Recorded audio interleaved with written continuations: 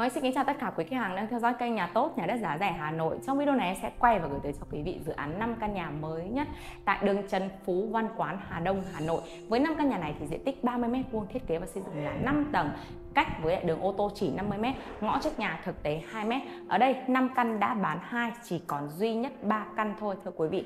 Và với cái cụm dự án này thì vừa mới hoàn thiện xong hết. Theo như hiện trạng thì quý vị có thể dọn đồ về và ở ngay sổ đỏ chuẩn chỉnh trao tay.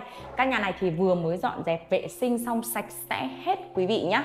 Đây là hiện tại Ngọc đang đứng ở phần tầng 1 của ngôi nhà. Với tầng 1 của ngôi nhà thì ở đây thiết kế là phòng khách phòng bếp, một phòng vệ sinh với vị trí ngôi nhà này thì rất là gần với trục đường Trần Phú cách với lại trục đường Trần Phú chỉ khoảng tầm 300m rất là gần với lại Honda Vũ Hoàng Lê quý vị nhé gần với lại cầu trắng với cái căn nhà này thì gần như là trung tâm rồi. Có một đoạn rất là ngắn là quý vị có thể đi ra tới đường 19 tháng 5 hiện tại với cái ngôi nhà này thì quý vị dọn đồ về và ở phần hoàn thiện gần như hoàn thiện xong hết. Chỉnh chu, gạch lát, nền, trần thạch cao, thiết bị vệ sinh xong hết rồi. Đây là toàn bộ phần không gian tầng 1 phòng khách với thiết kế phần cửa chính hai lớp cửa, bên ngoài là cửa cuốn điện, bên trong là cửa kính cường lực kéo quý vị nhé đó, còn đây là cái phần hoàn thiện cơ bản ở phần tầng 1 của ngôi nhà. Hệ thống trần thạch cao, đây là phần không gian phòng khách với tấm ốp nano giả đá rất là đẹp, lên trên tới tận trần. Với không gian phòng khách nhìn tương đối là thoáng, có quạt trần chủ nhà lắp cho mình luôn, hệ thống trần thạch cao, trần phào, rất là gọn gàng, đầy đủ. Với cái hồ sơ điện, hồ sơ nước lắp đặt xong hết. Với năm căn nhà này thì thiết kế 5 căn cạnh nhau liền kề theo hình thức liền kề. Tuy nhiên thì tường riêng, cột riêng và móng riêng, giá bán ngọc ánh để dưới phần miêu tả cho quý vị. Ngõ trước nhà thực tế như thế và cách có 50 m là ra tới đường ô tô đi lại được. Cách với 300 m là ra trục đường Trần Phú thôi nhé mọi người. Còn lại, đây là phần không gian phòng bếp. Với cái phần phòng bếp hoàn thiện xong hết chỉnh chu cho quý vị, toàn bộ phần tủ bếp này, xung quanh bếp này, phụ kiện bếp đều lắp đặt xong hết. Đó. Nói chung ở văn quán mỗ lao rất nhiều quý khách hàng hỏi tại sao không có quá nhiều hàng ở trên đấy bởi vì quỹ đất của nó không còn nhiều. Cho nên nhà đã siêu xây xong mà đã gần như là bán hết rồi mọi người ạ. 5 căn mà đã bán hai căn, bây giờ chỉ còn 3 căn để cho quý vị lựa chọn thôi. Đường ngõ nông thông thoáng. Đó. với cái phần đây, phụ kiện bếp quý vị có thể nhìn thực tế đây. Chậu rửa, vòi rửa nên thiết kế rất là chỉnh chu. Mặt bếp thì ốp đá granite. Xung quanh bếp thì ốp kính, ốp bếp nhá. Đó. Ngoài ra phần tầng 1 thiết kế thêm một phòng vệ sinh đáp ứng phần uh, sử dụng phòng vệ sinh ở dưới tầng 1 bồn cầu vòi xịt vòi rửa và hệ thống máy bơm nước tổng lên trên 5 tầng sử dụng của ngôi nhà. Cửa nhà vệ sinh toàn bộ từ tầng 1 cho tới lên tầng 4 thiết kế là cửa nhôm hệ Việt Pháp tay vịn cầu thang từ tầng 1 cho tới lên các tầng phía trên thiết kế toàn bộ là gỗ lim mặt bậc của bậc cầu thang ốp đá đen cổ trắng ngăn cách giữa phần cầu thang phòng khách và cửa chính thì quý vị có thể nhìn thấy một vách lam gỗ ở đây. Đó đồng thời ở dưới là tủ kệ quan trọng là vị trí. Còn về chất lượng xây dựng thì quý vị hoàn toàn yên tâm. Hiện nay rất nhiều chủ đầu tư xây dựng và tất cả các chủ đầu tư cũng thật sự này mà nói, thiết kế rất là chỉn chu, đầy đủ, hợp lý, công năng đáp ứng làm sao cho quý vị. 30 mét tối thiểu có 3 phòng ngủ. Mời quý vị em nên khám phá các tầng phía trên của ngôi nhà.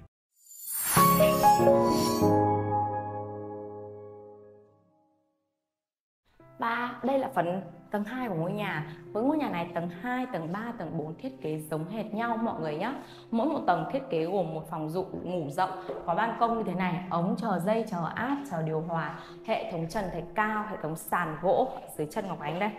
Thiết kế rất là đầy đủ mọi người ạ. Đấy ban công đây. Đó. Ở đây thì có hai hướng hướng tây bắc và hướng đông nam đây là phần phòng vệ sinh sử dụng cho phòng ngủ tầng 2 cabin tắm đây mọi người ạ. Hệ thống sen cây tắm nóng lạnh này. Cabin tắm này. Đó. Bồn cầu này. Lavabo. Thiết kế rất là chỉnh chu với cái tầm tài chính cũng như cái vị trí này thì nó nằm trong cái giá bán, nó là tầm trung rồi mọi người ạ. Cho nên tất cả cái phần hoàn thiện đều rất là phải cẩn thận. Chỉn chu cũng như tất cả những cái thiết bị vệ sinh, mọi cái, chủ nhà đều thiết kế rất là chu đáo cho mình. Chất liệu mọi cái đều là cao cấp. Mời quý vị theo em lên khám phá tầng 3 của ngôi nhà. Và đây là phần tầng 3 của ngôi nhà với tầng 3 thiết kế tương tự như tầng 2 đó. Phòng nào cũng ánh sáng tự nhiên ở trong không gian phòng.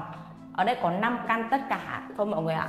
5 căn sử dụng chung một ngõ, tất cả những cái ngõ đấy đều sử dụng ở trên sổ đỏ đều thể hiện, mọi người nhé nhiều khách hàng không yên tâm bảo là những cái này chắc chắn là sổ chung nhưng mà không phải.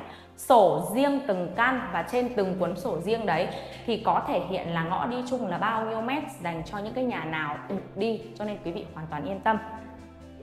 Toàn bộ pháp lý chuẩn chỉnh thì ngân hàng người ta mới hỗ trợ vay từng căn mà tối đa tới 70 80% giá trị đúng không ạ? Hiện tại thời gian này thì cái lãi suất ngân hàng tương đối là rẻ cho nên quý vị cần tư vấn và mua luôn tại thời điểm này thì cứ liên hệ trực tiếp với nhà tốt nhé. Đây, phòng vệ sinh ở tầng 3 đây. Đầy đủ hệ thống sen tắm. Tầng 2, tầng 3 Nói chung là phòng nào cũng đáp ứng đầy đủ công năng sử dụng cho quý vị Đây là phần gương tắm mọi người ạ Đấy, Rất là đẹp Mời mọi người theo em lên tầng 4 của ngôi nhà nhé Và đây là phần tầng 4 của ngôi nhà. Như vậy lên trên phía tầng 4 là căn nhà này đã có 3 phòng ngủ riêng. Quan trọng nhất Ngọc Anh nhấn mạnh lại với quý vị Quan trọng nhất cái giá bán nó phụ thuộc vào vị trí Thì cái ngôi nhà này nó gần nhất với gì ạ? Gần Đại học An ninh Nhân dân Gần Học viện Bưu chính Viện thông Gần với trường uh, cao đẳng công nghệ giao thông vận tải, nói chung là dần gần rất nhiều trường đại học lớn, gần như là nó là trung tâm của quận Hà Đông. Tiện ích đầy đủ gần chợ Hà Đông, gần cầu đen, cầu trắng, gần các bệnh viện lớn. Cho nên cái giá bán nó phải cao hơn các khu vực khác là đương nhiên. Đó. Đây là phần phòng vệ sinh sử dụng ở tầng 4 đó.